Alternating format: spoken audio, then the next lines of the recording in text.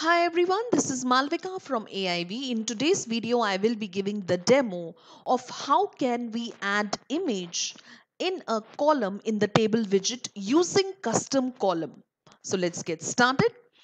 To add an image in the column in the table widget, we'll first of all click on the table component in the widget panel. The data set I'll be keeping as sales.ds over here.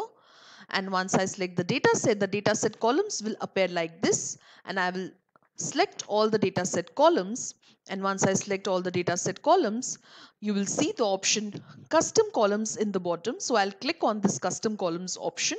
Once I click on the custom column option you'll see one dialog box opening up like this and here I will click on add new.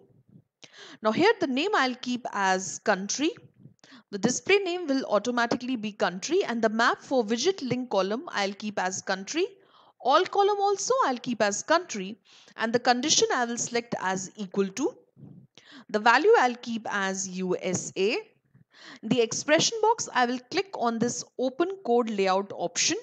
Once I click on the open code layout option you'll see that this box opens up and here the type I'll select as image since we want to add an image to the column and the image I will be using from this list of images I have.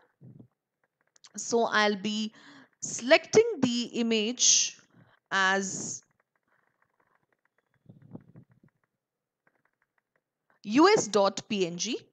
So once I select this image, you will see that the custom column code layout is has appeared like this and I'll click on save and I'll click on add. So once I click on add, I'll just do save and exit. And you'll see that the flag of USA has appeared like this in the country column of the table widget.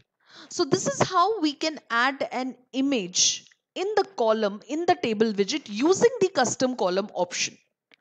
I hope you liked my today's video. If you liked it, please like, share, subscribe and comment in the section below. If you have any specific questions, please mail us at support at aivhub.com or you can also visit our website that is www.aivhub.com. Thank you.